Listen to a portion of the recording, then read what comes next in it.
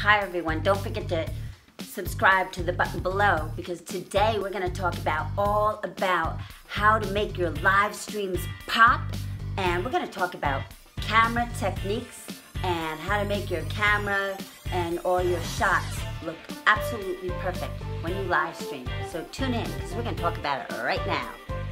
Hi everyone and welcome to OTRC TV. Don't forget to subscribe at the bottom because we're going to talk about camera, camera angling, and how to shoot the live stream and do it correctly, okay? Right now, I am talking right into the lens.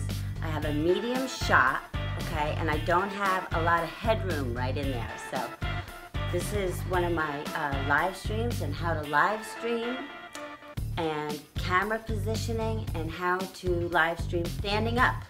So, and my camera is now horizontal. So this is, if the person was standing, I have enough room here.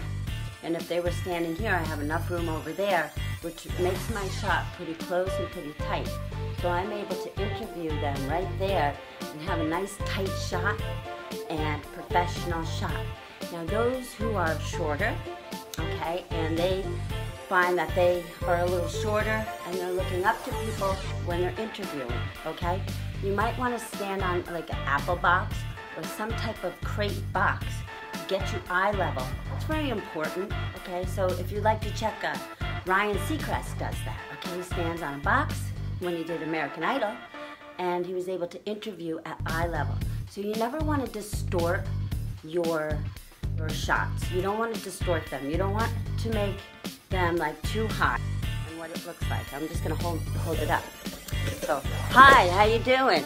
Today we're with, and it makes me look short, and it's it, it makes it look looking down at everything, and really, honestly, everything should be eye level, and eye level is professional. So make sure that you place your cameras eye level and that you have enough uh, in your shot phone will be set up like this on the tripod. Once it's set up on the tripod like this, push your Facebook, right? And you're gonna push um, to go live, right, on your Facebook.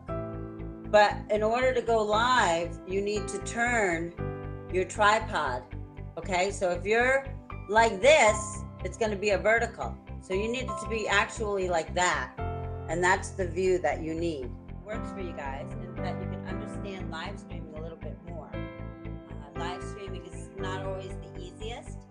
you want to make sure that it's professional and that you're, you know, close enough to your interview or the person that you're interviewing and that you have like enough space with the camera. So I hope this was Subscribe to the button below and subscribe to OTRC TV